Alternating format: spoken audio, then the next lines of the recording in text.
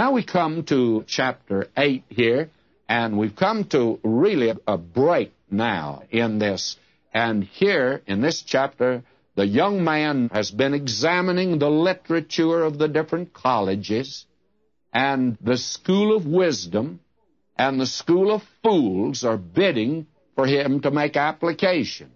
And it's wisdom now that really sends out an invitation to him.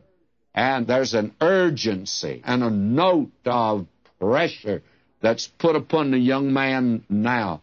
Will you listen to it? The school bell's going to ring before long, and they want this young man enrolled. You see, he's been lured and enticed to leave the school of wisdom. Listen to this now, chapter 8, verse 1.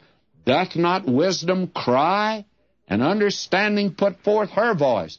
And believe me, if the cults and isms are out today on the street and ringing doorbells, let's let God's people do that also. I'm thankful for the very fine organizations, especially working among the young, that are out ringing doorbells today, out doing personal witness. Why? Because doth not wisdom cry? She ought to be out there. And understanding put forth her voice. She standeth in the top of high places by the way in the places of the paths. She crieth at the gates, at the entry of the city, at the coming in at the doors. Unto you, O man, I call, and my voice is to the sons of man. And that's what this radio is all about. We're trying to send out a call to come to the school of wisdom and to come to wisdom personally. And Christ has been made unto us wisdom and it's to come to Christ. Oh, ye simple. Are you willing to take that position? Say you're not adequate? Say you are a sinner? And that you really don't have intellectual problems? What a joke today to hear these folk. This young fellow came here, I have intellectual problems.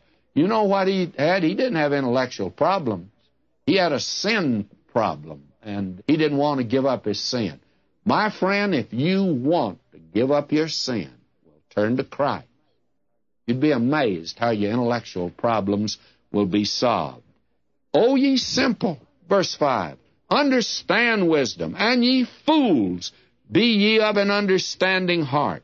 Hear, for I will speak of excellent things, and the opening of my lips shall be right things.